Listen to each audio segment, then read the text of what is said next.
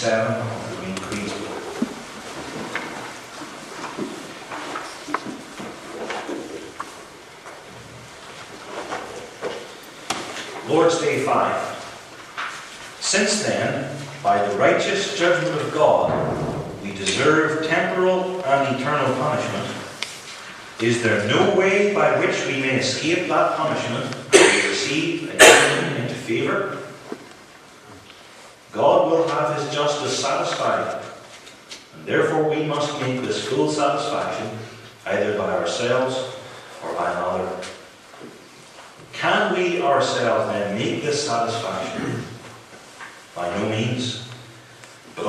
Contrary, we daily increase our debt.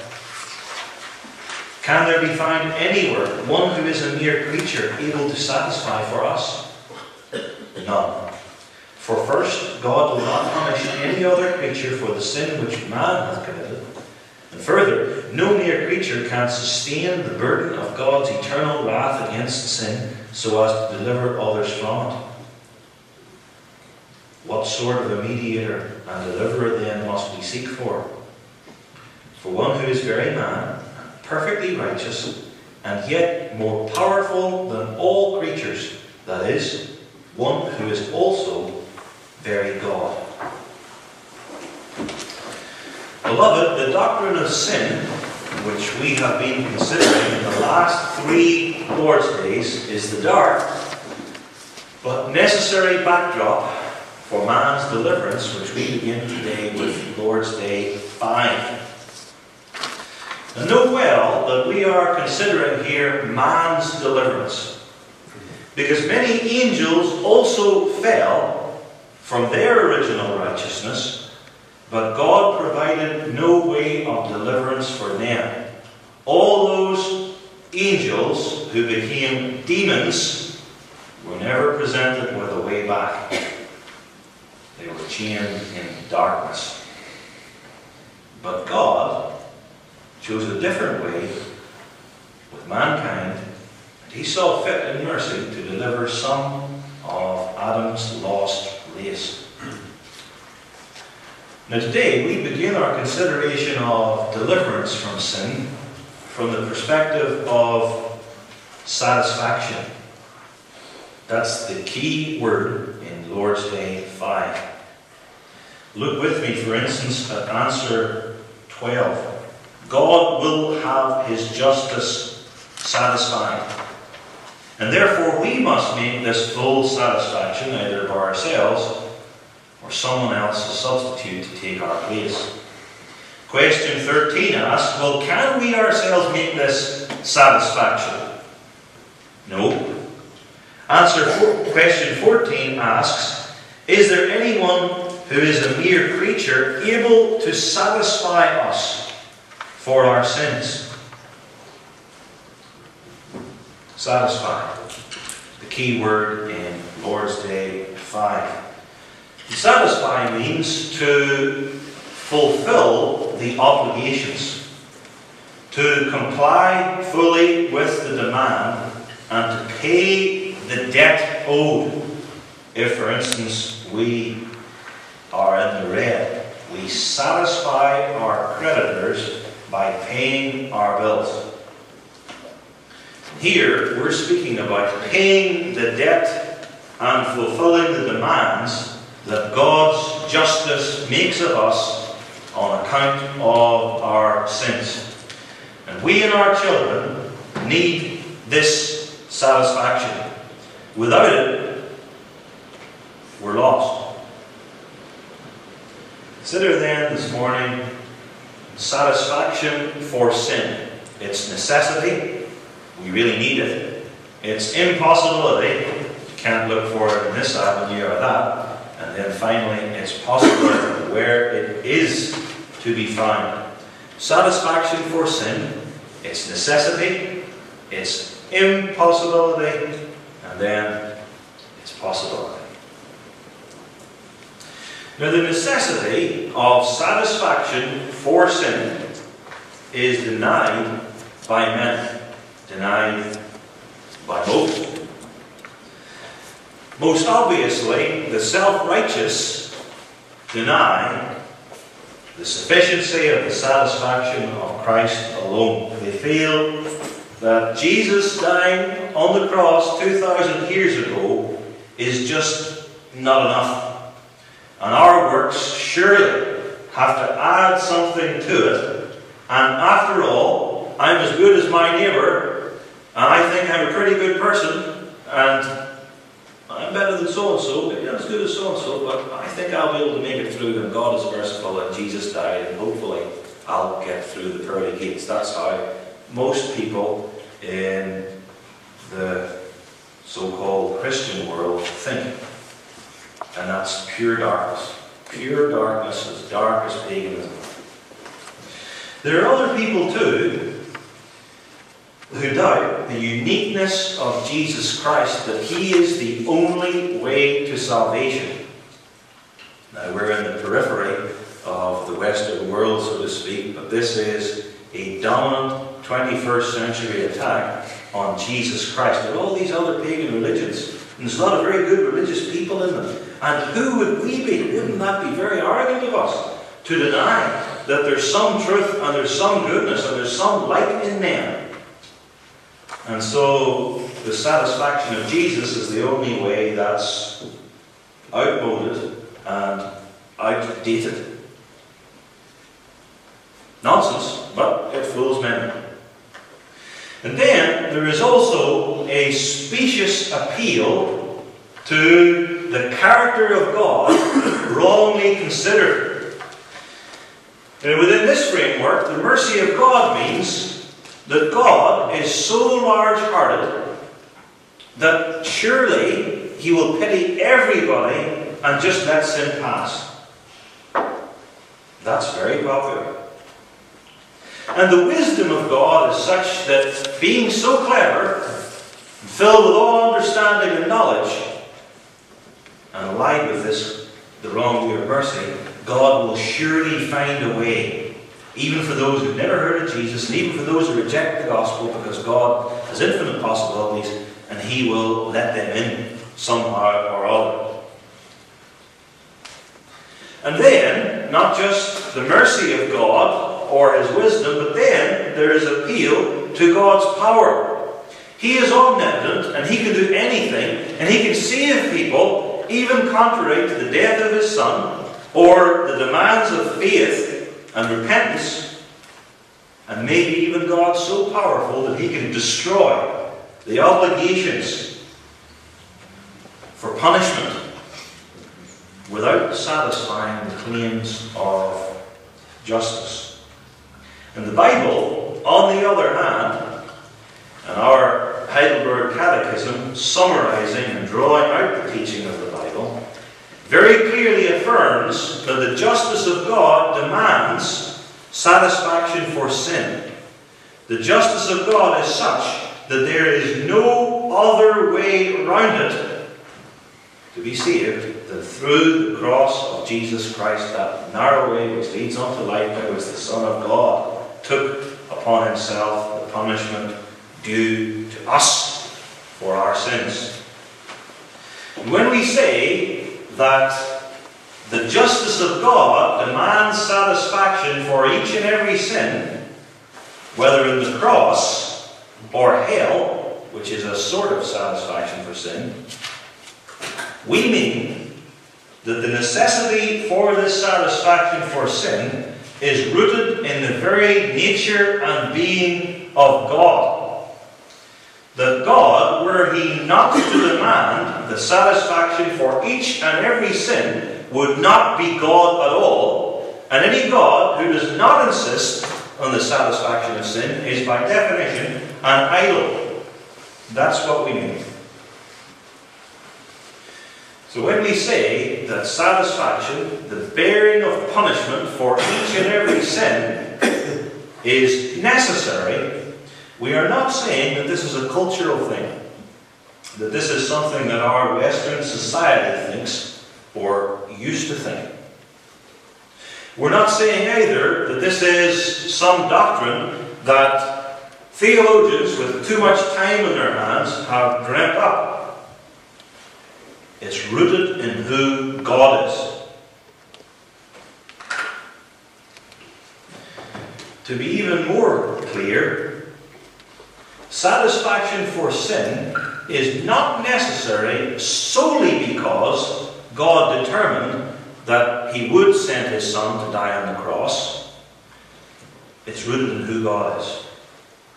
He demands that sin, which is principally and always against Him, as the God who fills heaven and earth, the God with whom we always have to do, that sin against Him and His infinite majesty must be punished, must be punished, or else paid for if sinners are to escape punishment. here we need to clarify. God did not have to create the universe. it was an act of the free will of God. God the Father had to necessarily generate the Son.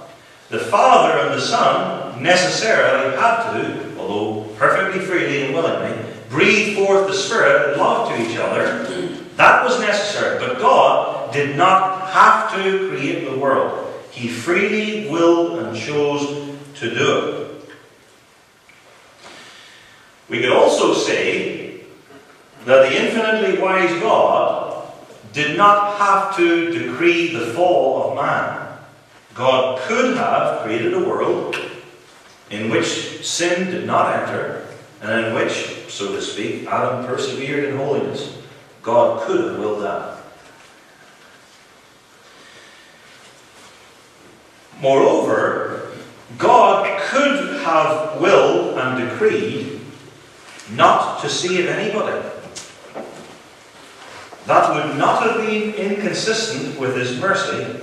His mercy did not require that God elect and so save some of those who are fallen. God's mercy would not have been one less whit infinite if He had decided not to save anybody.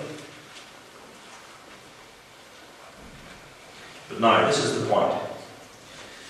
Given that God did freely choose and will to create the universe. Given that God did decree a fall, and given that God did decree to save some sinful, fallen human beings, the only way in which God could have done it, I speak reverently, this is not a limitation of God, but the only way in which God could have saved some of those human beings who fell originally were created in the first six weeks of the sin from Adam, the only way that God could have done it is to have sin satisfied and borne and punished in a substitute. That's the only way. There is no other way. And we affirm then the necessity of satisfaction for sin upon solid grounds. God has always been teaching this to his people.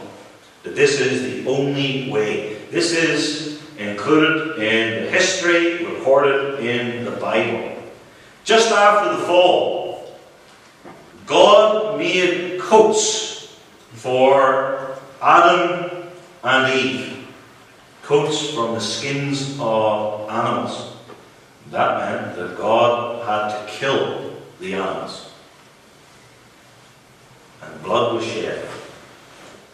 And then the clothing points to the righteousness which we need as a covering for us because we're naked without it before God.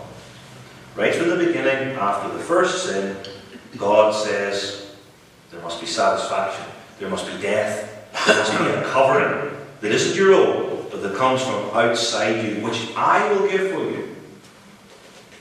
And then we have the children of the first pair. They too must bring offerings. Abel understood the gospel, and so he brought to God the firstlings of his flock. He knew that he couldn't approach God but for the sacrifice of animals. And Cain brought vegetables. He didn't see the need for atonement, sacrifice, the shedding of blood. And if we move from Adam and Eve and Cain and Abel in the book of Genesis to the Mosaic Law, we see the Old Testament sacrificial system laid down in the later books of the Pentateuch, underlining the necessity of satisfaction. You want to get near God? You have sinned. Animals must die.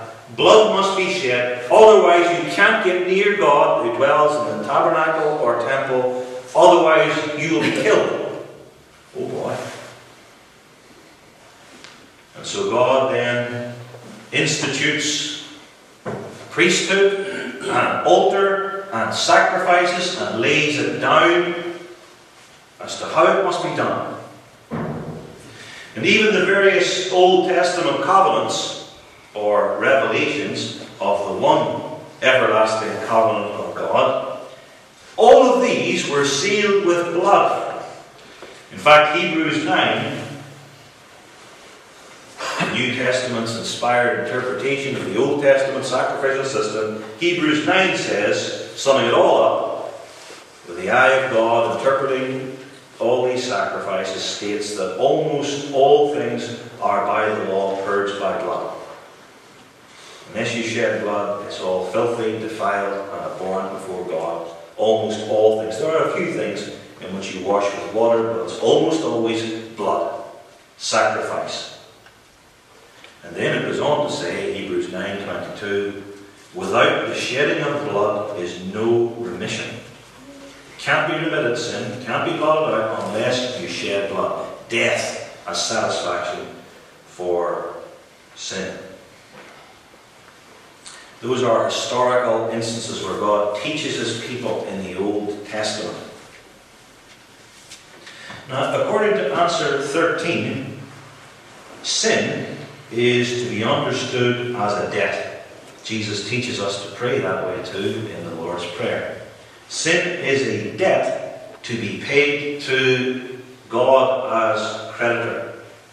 We owe God obedience, and when we disobey, we sin, and God says, You have incurred debt. And for you to be saved, God says, this debt must be paid. This must be paid because you could think of Satan, as it were, wagging his finger at God. This is unfair of you, Lord. You simply erased the debt that was never paid. That person, indeed that whole church, should not be let in. But it's not just Satan, of course. The point is that the righteousness of God insists that he cannot have people in heaven dwelling with him forever who have never paid the debt of loving him. And that demand from the very being and character of God is immutable, constant, and there's no way of dodging it. God, as it were, comes to each and every human being and he knocks at the door day and daily and says, You owe me.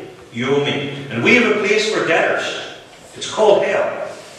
There must be satisfaction, or else you pay it yourself forever.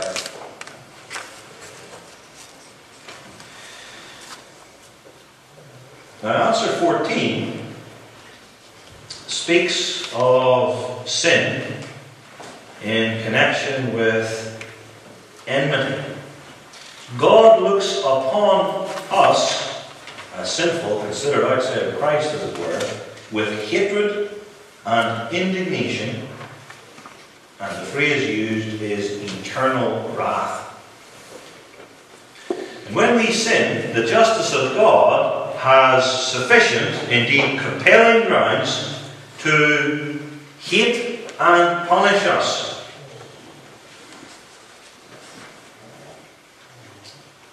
And that ground of the hatred of God must be removed.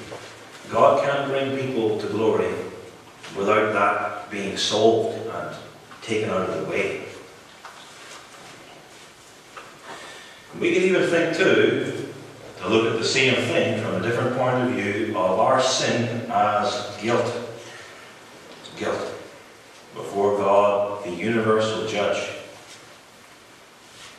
If it were the case, just for a minute, that God as creditor could relax and discharge the debt that we owe him, and even if God, as the offended party, could for a moment, so to speak, decide, well, I'm not going to hate sin and sinners, I'm going to let him go, even then, since sin is guilt, and God is the guardian and vindicator of his own laws, which express his own being, he must punish. In fact, the passage we read says in verse 30, Vengeance belongeth unto me. It is a peculiar divine characteristic that God owns vengeance. It belongs exclusively to Him as His divine prerogative. I will recompense, I will repay for each and every sin. The Lord shall judge.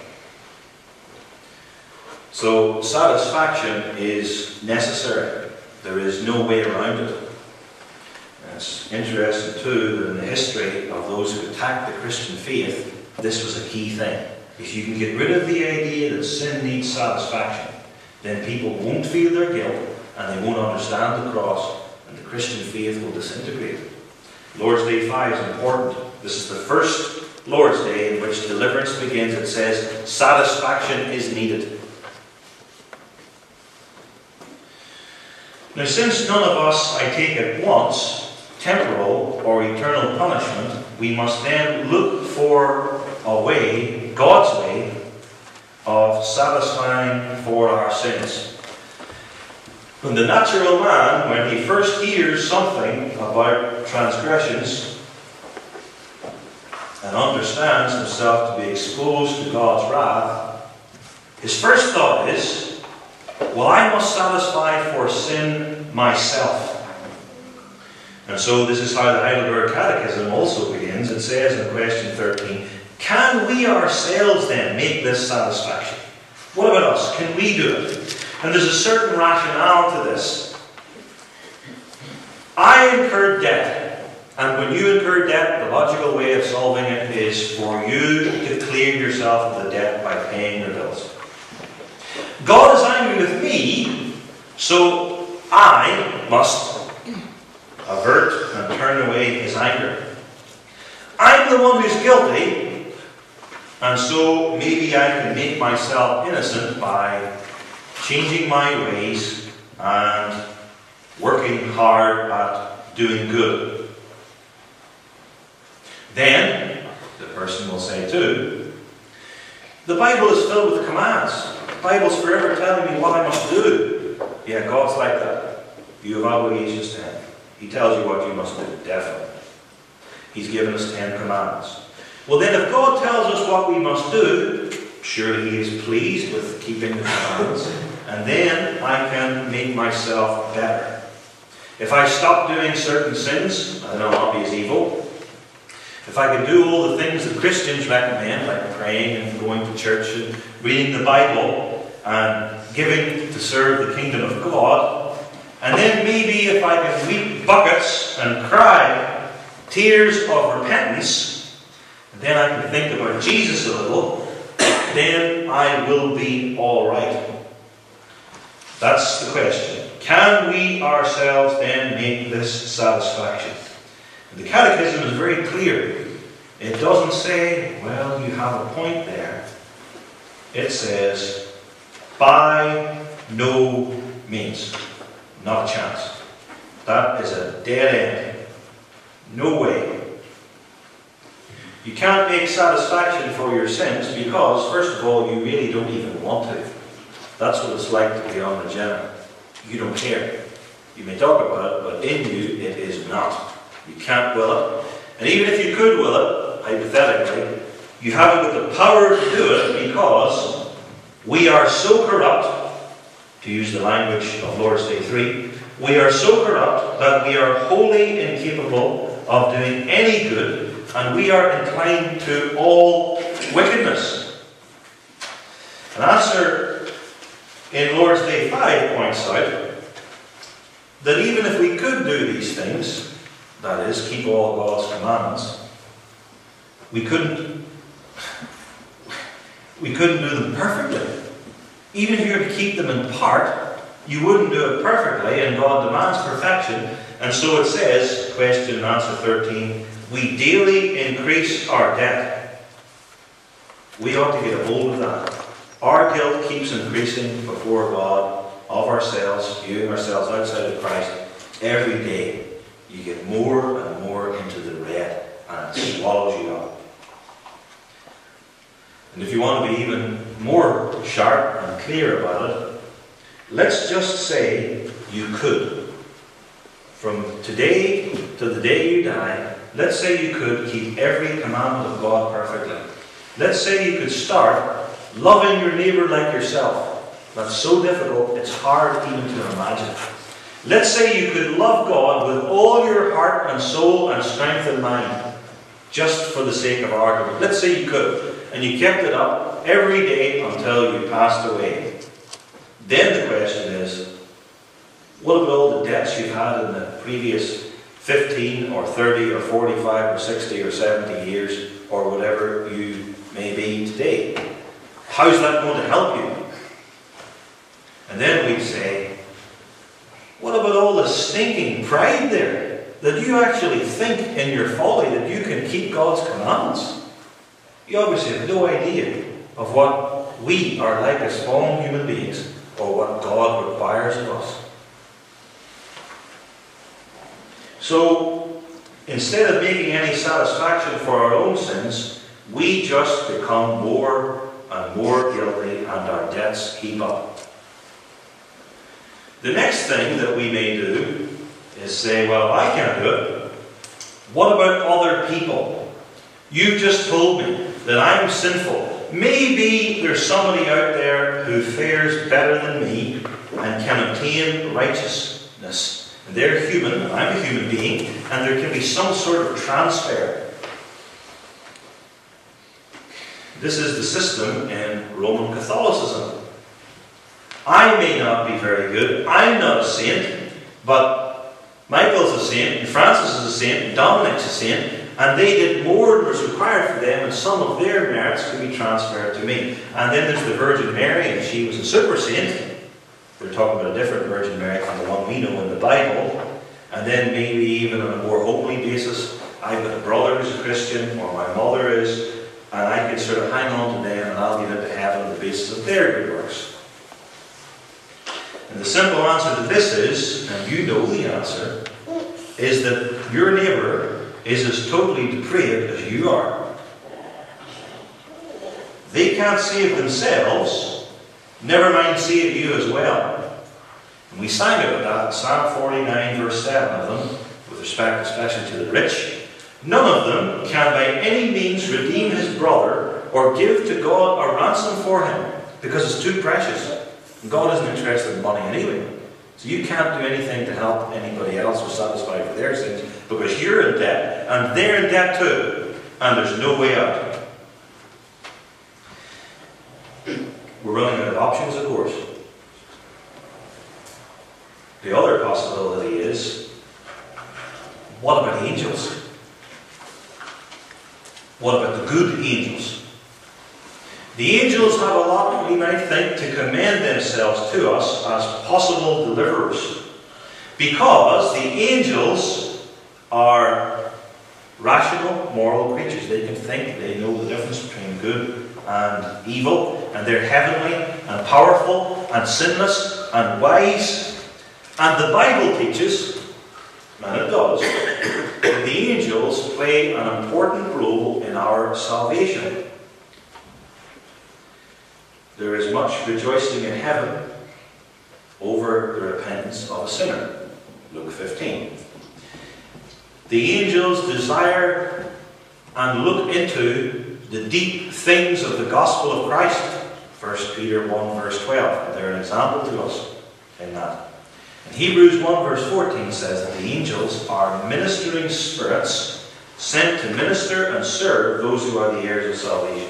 We have angels that help us in unseen ways under the providence and the control of Jesus Christ our Saviour and keep us from evil. We don't often think about that. But we should. And this notion of angels is very popular today in the mystical thinking. Not only is it the case that Roman Catholicism engages in all sorts of idolatrous veneration of angels, but in the bookstores, even the allegedly Christian bookstores, you see all sorts of angel paperbacks about fighting in heaven and how the angels do this, that, and the other. Waste of, waste of paper. Um, not Christian. Speculation. Um, but angels can't do it. And the reason why angels can't save us is, first of all, angels are not human beings. An angel can't be a substitute for a human being. They don't have a human life to enter into our life and to live in our place. And they don't have a human death, and they don't die as we as human beings think of it. And so they cannot die for sin. And the wages of sin is death. And when I quoted Hebrews 1 earlier, which is itself a quotation from Psalm 104, that angels are ministering spirits who support and encourage and help us in all sorts of unknown ways to us, they're just helpers. We could say that the office bearers in the Church Institute minister to the saints, but that doesn't mean they redeem you or pay for your sins. Same is the case with the angels. So you can't do it. Other people can't do it for you. Angels can't do it. The only other possibility that I could think of is the death of animals.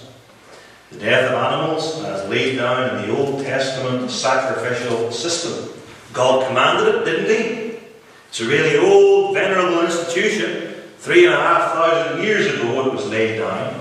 Blood was shed. Without the shedding of blood, Scripture says, there is no remission of sins. And there are many other people who, in the history of the world and currently, have looked to the killing of animals as some sort of satisfaction for sins.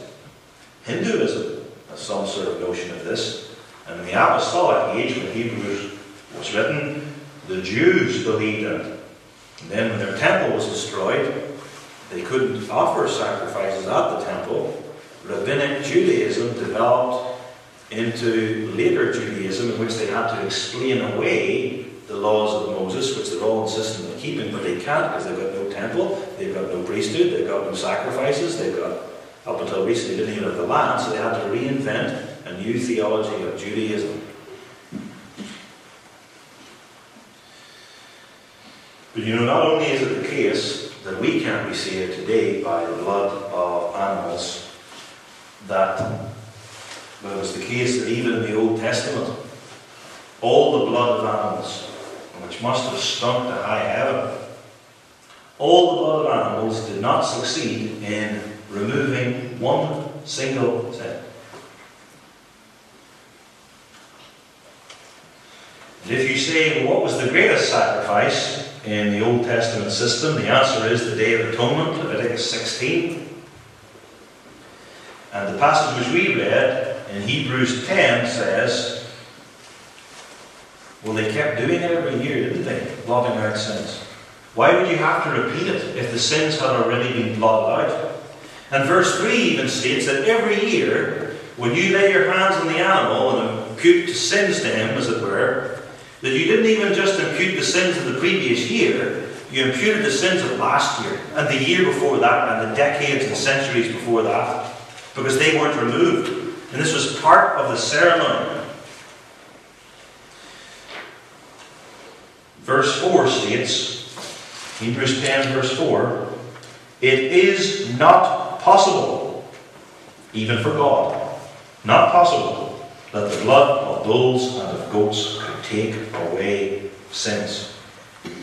And the Old Testament itself teaches this, teaches it in Psalm 40, which is quoted in the opening 10 verses of Hebrews chapter 10, where Christ speaks, and Christ says, All these sacrifices and killing of animals and offerings, Lord, you didn't really want it, did you? Wasn't sufficient. Didn't do any good, did it? It was only there as a type and a shadow for a limited time. And then Christ says, Lo, I come In the volume of the book it is written of me to do thy will.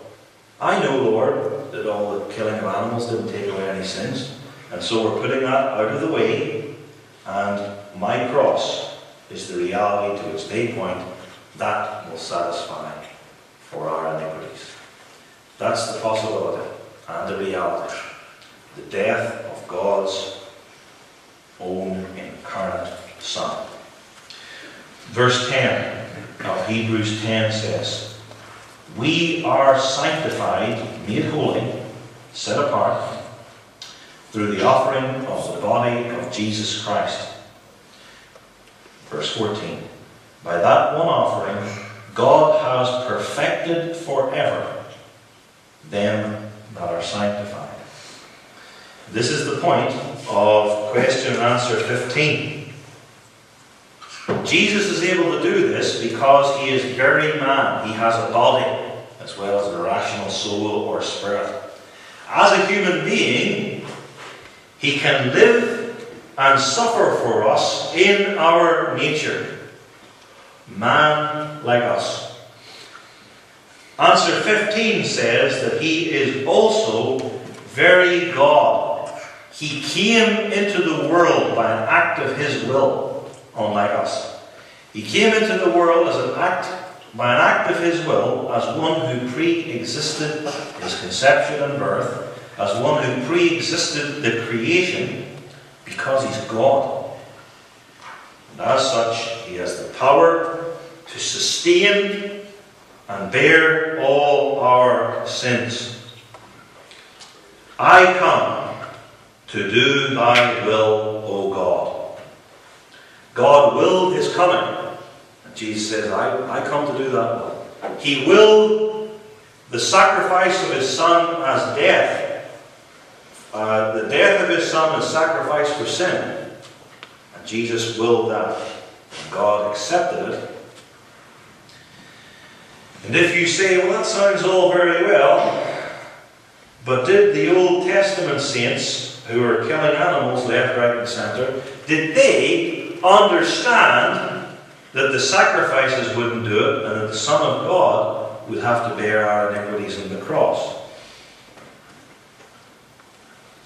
Well, Jesus says in verse 7, which is a quotation of Psalm 40, I come, lo, I come, in the volume of the book it is written of me to do thy will, O God. And so Jesus is saying the whole book, the volume, what we would call the Old Testament, it's written about me. Me coming to do God's will, me coming to put away the Old Testament sacrificial system. The volume of the book, it's written of me. Jesus was the object of the faith of all the elect saints in the Old Testament as well as the new. And so Hebrews 10 draws a comparison between Old Testament sacrificial system and what Jesus Christ did for us on the cross. The Old Testament priests were sacrificing many, many times, day and daily. Jesus just had to do it once. The Old Testament priests stood to make their many sacrifices. They were standing at the altar. Jesus Christ made his one sacrifice and sat down because it is finished. It Doesn't need to be repeated, can't be repeated, and can in no way be added to. Because though the blood of bulls and goats can never take away a single sin, by his death on the cross, Jesus perfected forever them that are sacrificed, them that are sanctified. In fact, the passage we read together explains in verses 15 through 17 that Jesus' death inaugurates the new covenant. This is the covenant that I will make with them after those days. I'll put my laws in their heart, and their sins and their iniquities will I remember no more unlike the Old Testament sacrificial system.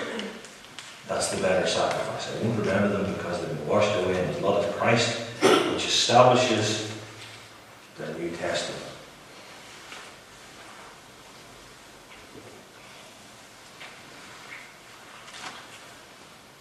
So necessary and so unique is Christ's satisfaction for sin that verses 26 through 31 explain that if anybody willfully turns away from it, they will be utterly unable ever to find any other satisfaction for sin.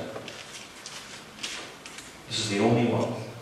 The book of Hebrews being about apostasy, especially first century believers apostatizing from Jesus Christ and going back to Judaism,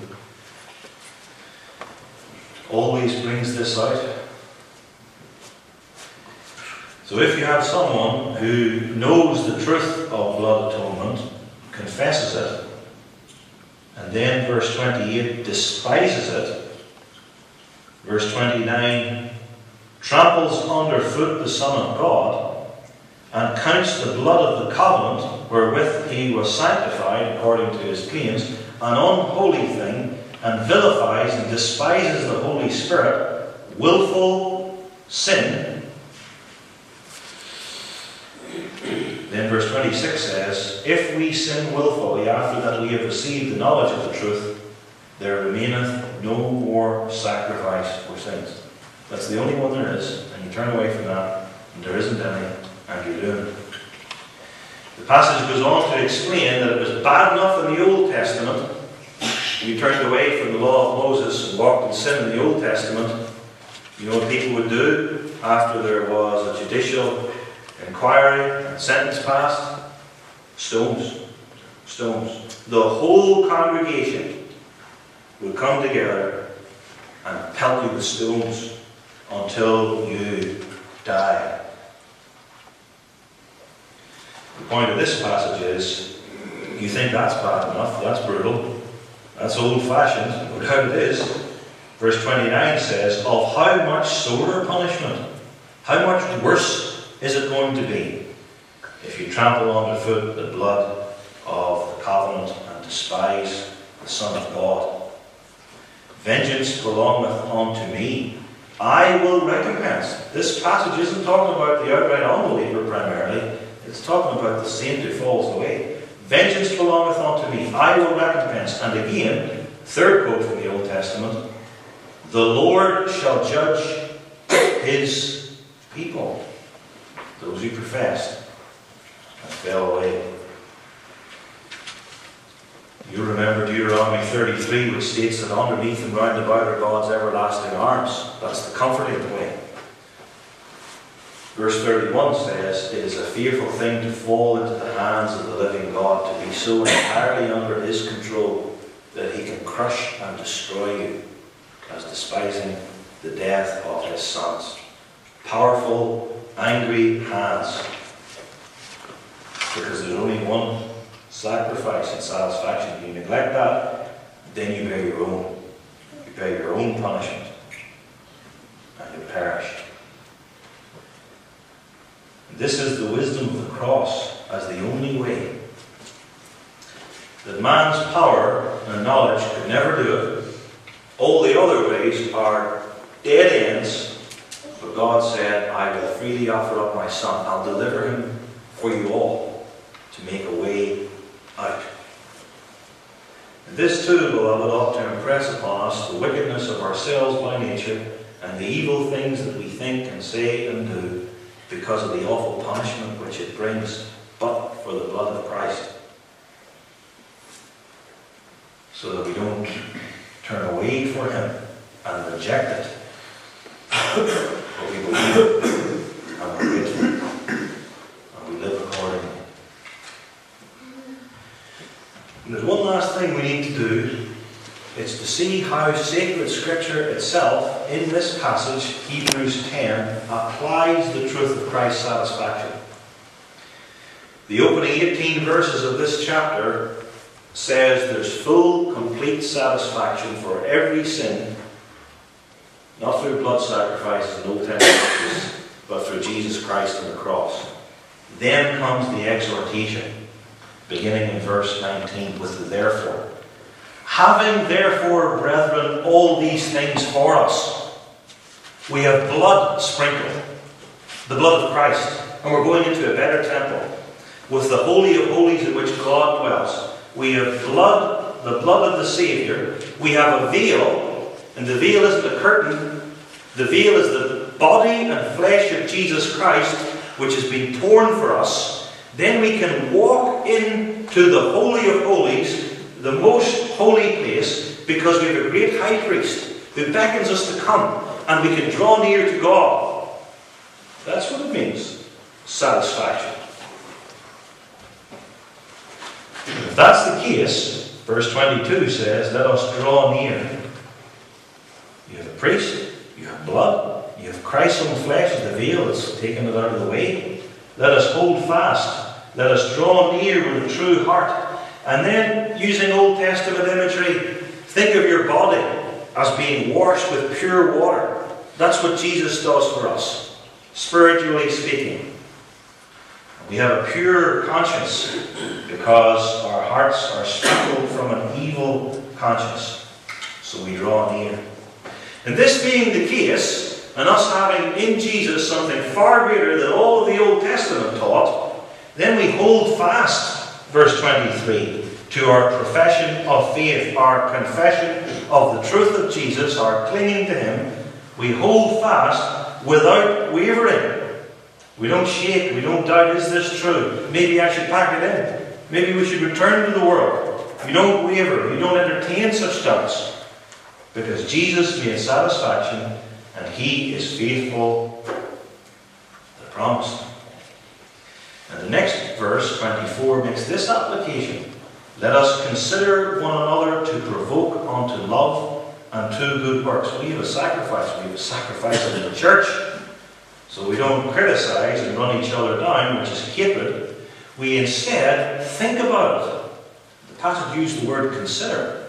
Let us consider one another and how this will help other people, and then consider them to provoke or stir them up to love. That's our calling, since we're all covered with the same blood. Provoke people, consider them to provoke and stir them up to love God, to love their fellow saints, and to love their neighbours for Christ's sake, and we stir them up to do good works.